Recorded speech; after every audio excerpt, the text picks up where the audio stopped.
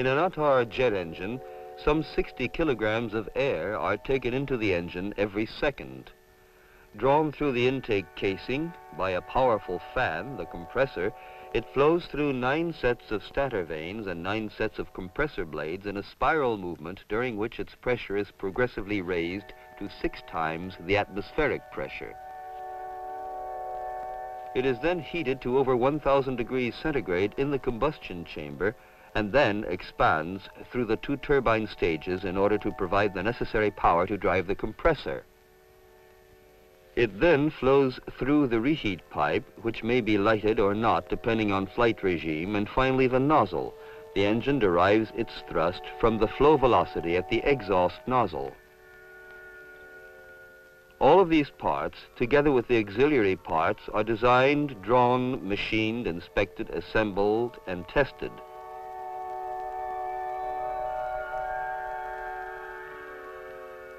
As an illustration, we have chosen one of the engine main components and will follow it through the process. This is the compressor rotor, which gives the air passing through it a power equal to up to 20,000 kilowatts, or four times the rating of the biggest railway locomotives in a volume smaller than that of a cylinder of about one meter in length and 0.70 meter in diameter.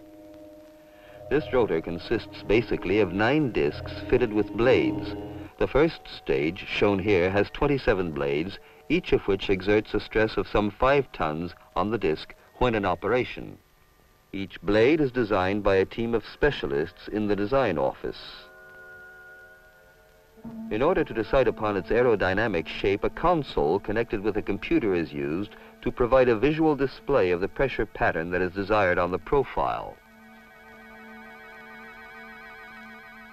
The computer draws the corresponding profile. The velocities and pressures are recorded on a computer printout and stored in a magnetic memory system.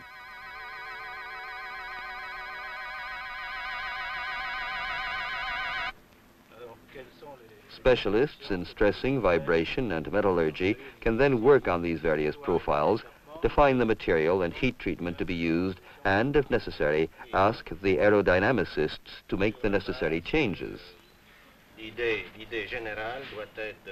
The resultant drawings take into account all the specifications laid down by the design office. The blades are made at the Gennevilliers Center, where the acceptance testing laboratory checks the specifications for the material. These checks include macro and microstructure photography, spectrographic tests with an instrument which can determine the proportions of up to 23 different elements in an alloy, mechanical tests on samples. An electronic strain gauge measures the elastic limits of the test sample.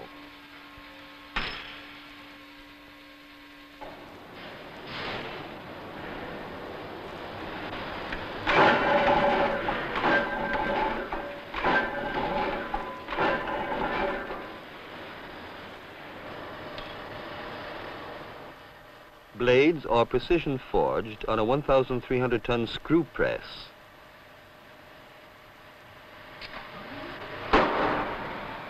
The subsequent operations provide a finished forged blade, thus minimizing machining operations.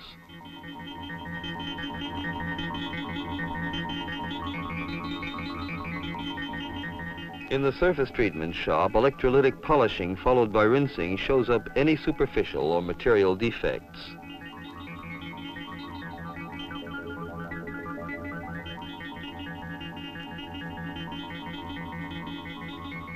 Blade is then secured in a block by casting a low melting point alloy. This makes it easy to fix the part to a vertical broaching for performing the machining of the blade root.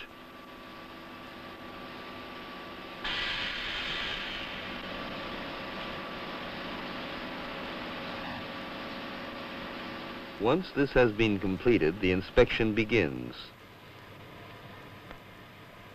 The profile is checked by a follower, an enlargement of whose shadow is projected onto a mirror.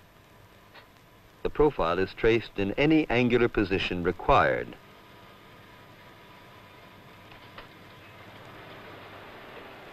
A multi-point method enables any deviation from the theoretical profile to be determined simultaneously at several points.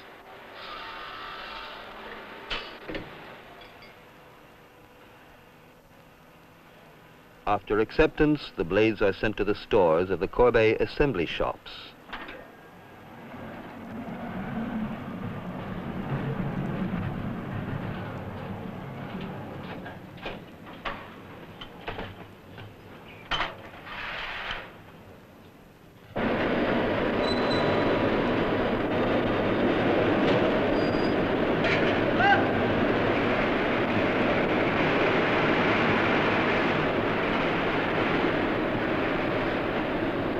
At the same time, at Gennevilliers, the crew of the 80,000 kilo per meter drop hammer is forging the wheel discs.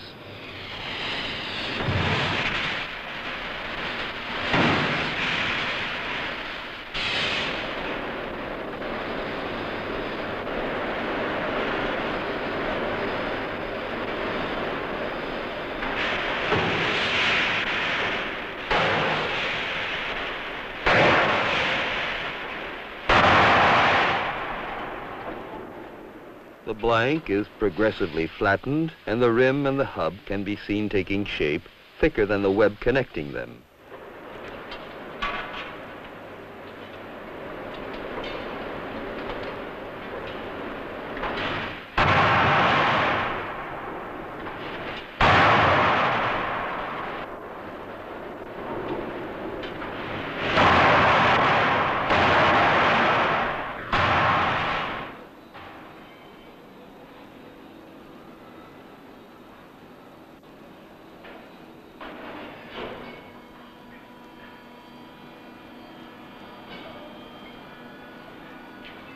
Oil quenching is employed to give the disc the required metallurgical properties.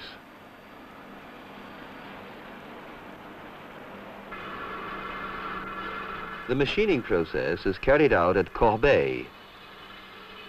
The web is machined on both sides simultaneously since it is too thin to withstand the stress of a tool on one side only.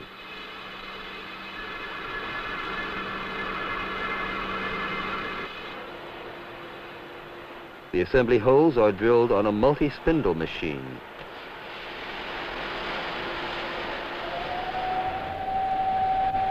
The holes are cut with teeth biting progressively into the rim metal with an accuracy of one one-hundredth of a millimeter.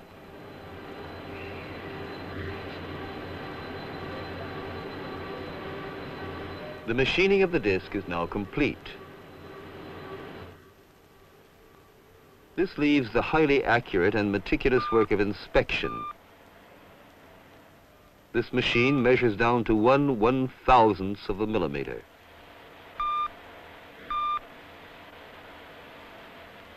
This operation checks magnetically whether the machining process has caused any cracks or brought any to light.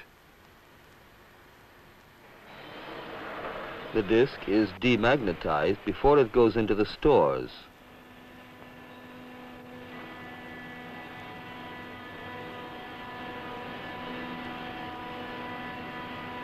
In the assembly shop, where all the parts making up the compressor rotor arrive from the stores, the disc blade assembly is carefully balanced since an unbalance of only one gram at the periphery could generate a force of 45 kilograms.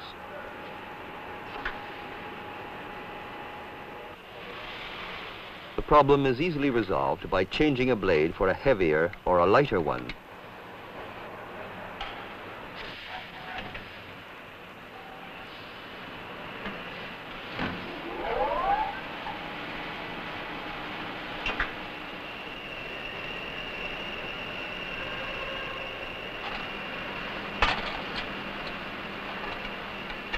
The assembly rings are fitted by expanding them slightly using induction heating.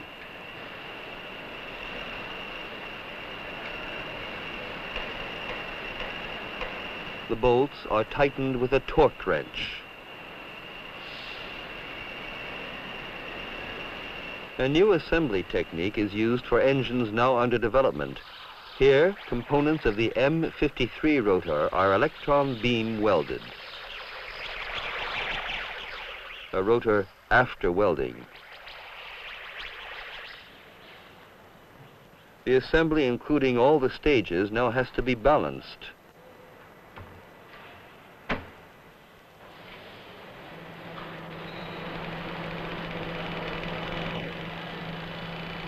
Here, balancing weights have to be added.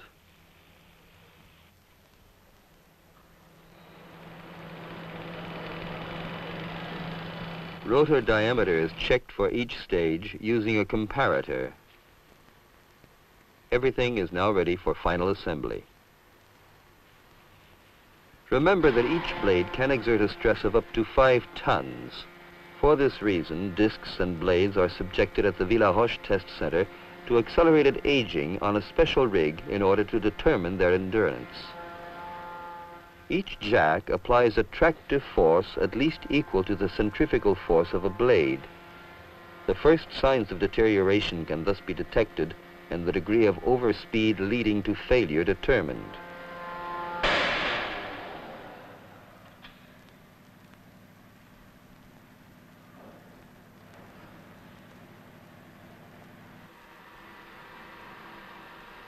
In some cases, the resistance of discs to bursting is also tested by operating them at overspeed conditions in a vacuum pit.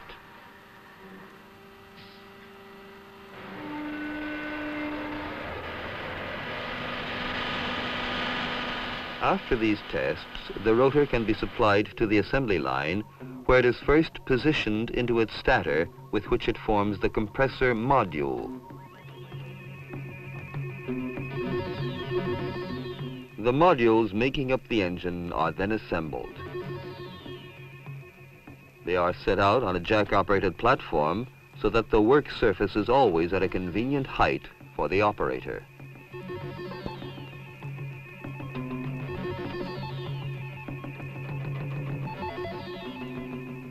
The engine is then brought into the horizontal position on rotating cradles and dressed with accessories and connecting pipes. Each engine is then bench tested in order to check that it meets specifications before being delivered and installed in the aircraft for which it is intended.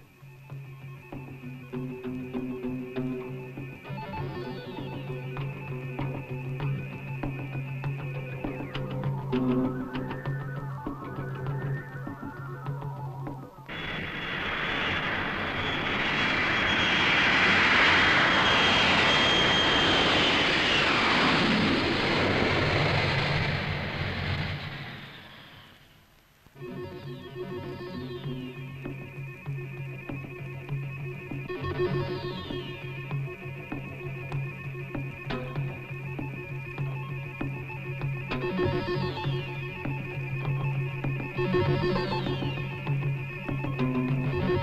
you.